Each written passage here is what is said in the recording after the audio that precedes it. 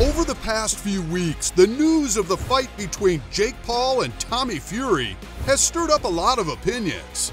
Everyone seems to have something to say about the fight and who would come out victorious. But after several unsuccessful attempts at getting these two men to face off in the ring, we can't help but wonder if we will finally get to see what we've all been waiting for. The fight against Jake Paul and Tommy Fury was initially scheduled for December 19, 2021. However, due to some complications on Fury's end as he nursed a bacterial chest infection and a broken rib, the match was canceled. By the next year in 2022, the men were once again scheduled for a match on August 6th, but again, the match had to be canceled. This time, it was due to the fact that Fury's travel visa to the US was canceled. However, it has been confirmed that we should expect to see some action come February 26, 2023. And so while we look forward to that date, it is only natural that we analyze what could be the outcome of this battle. So, if you would like to find out our verdict on the duel between these two professional fighters, then be sure to stick around till the end. Let's take this into the ring, shall we? Before we put them up against each other, let's take a closer look at the lives of these fighters. First up is none other but the problem child himself, Jake Paul. The American social media personality and professional boxer was born on the 17th of January 1997 in Cleveland, Ohio. Jake Paul, however, grew up in Westlake, Ohio, with his parents Pamela Ann Stepnick and Gregory Allen Paul, and his brother Logan Paul. After gaining an insane level of fame on Vine in 2013, Paul launched his YouTube channel the very next year. This would later lead to an acting career on the Disney Channel's Bizaardvark series, where he played the role of Dirk Mann. 2017 was the year Paul found his way into the music industry and released his very first single, It's Everyday Bro. And ever since, Paul has continued to release several singles.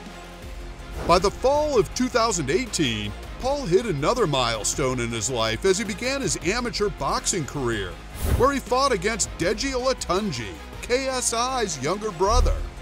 The fifth round of the exciting match was brought to an end as Paul delivered a technical knockout, defeating Olatunji. However, in 2019, Paul let go of his amateur title and started off his professional career. His debut match was against fellow YouTuber AnEsonGib, popularly called Gib, and won by technical knockout. Throughout his career, Paul has fought against former UFC fighter Ben Askren and professional basketballer Nate Robinson. He also fought against the UFC welterweight champion Tyron Woodley twice, and finally against the mixed martial artist and boxer Anderson Silva. In all of these six fights, Paul has recorded a total of six wins, with four of those by knockout. Tommy Fury. All right, time to meet the British professional boxer and reality TV personality, Tommy TNT Fury. Fury was born on the 7th of May 1999 in Manchester, England, to John and Chantel Fury.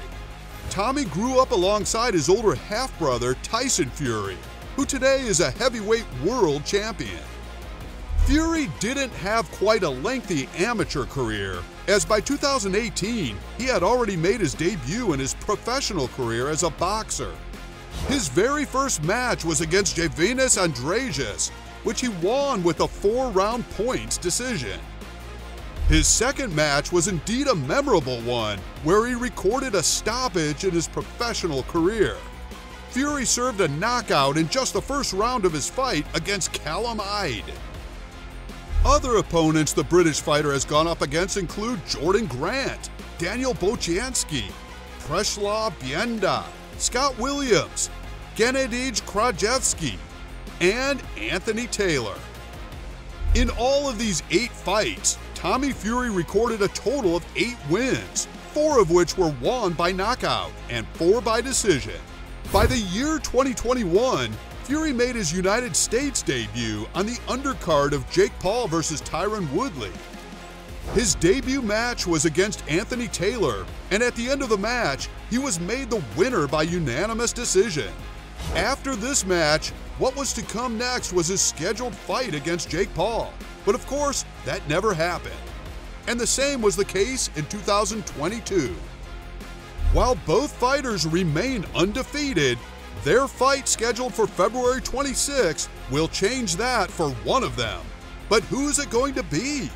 Who is going to be walking away with the tainted record? Well, now that we've met both fighters, let's see if we can determine the answer to that question. As usual, we'll be making this decision based on the categories of fighting pedigree, physique, skill, and improvisation.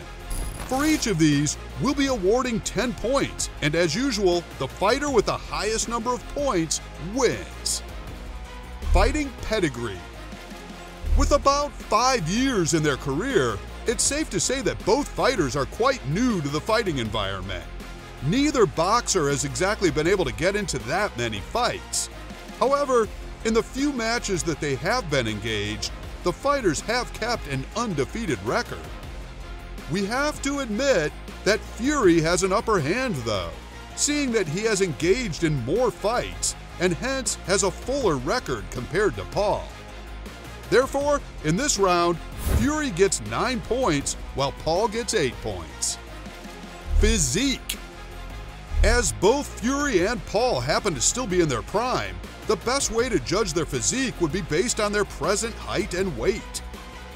Currently, Tommy Fury stands at exactly 6 feet and weighs about 231 pounds, while on the other hand, Jake Paul stands at about 6 foot 1 inch while weighing about 190 to 200 pounds.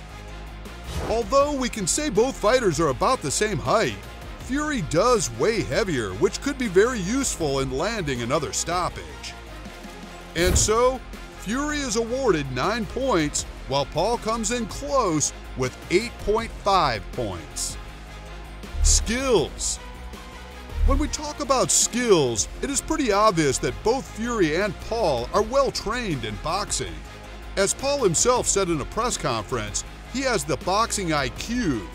The point is that both men can stand their ground against each other. However, given that Fury has more fighting pedigree, he sure has an advantage in terms of experience. Plus, coming from a family of fighters is another added advantage. But then we all know that Paul has some of the best trainers in the business and boasts about that every chance he gets. Nonetheless, considering the fact that both fighters were well versatile in the art of boxing, we can say that both fighters have a tie with 8 points each. Improvisation Finally, looking at improvisation, it is clear that both fighters are currently only boxers, and aren't versatile in any other kind of martial art. This means both fighters are unlikely to pull off any surprises in the ring. However, with a record like Fury's, who's had the opportunity to face off with more opponents and beat them all, it's more likely that the younger fighter could have a couple tricks up his sleeves. And so once again, Fury wins this round with 8 points, while Paul gets 7 points. The verdict? Before we get down to the winner of the prediction, it's safe to say that based on the different opinions on the internet, both have a clear shot at coming out on top. However, considering all of the pressure on Fury from his family, it just may be a tough bout. Paul, on the other hand, isn't about to make things any easier for his opponent if his rants on social media are anything to go by. Fury's absence at the press conference made things even worse, as Paul took the liberty to get even more vocal. At this point, Fury has the choice to either let Paul get into his head or use Paul's rants as fuel to win the match. That said, if we'll be judging based on our four categories, the winner of this match, come February 26, is none other than Tommy TNT Fury with 34 points while Jake Paul comes in close with 31.5 points. This, however, is just our verdict based on our calculations. The actual match might be a shocker to us all.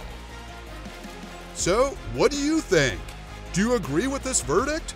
Or do you believe that the problem child will come out as the winner against Tommy Fury? Do let us know your thoughts in the comment section below. And if you enjoyed this video and would love more content like this, make sure to like, subscribe, and turn on the post notification so you are the first to know when we drop a new video. Thanks very much for watching. We'll see you next time.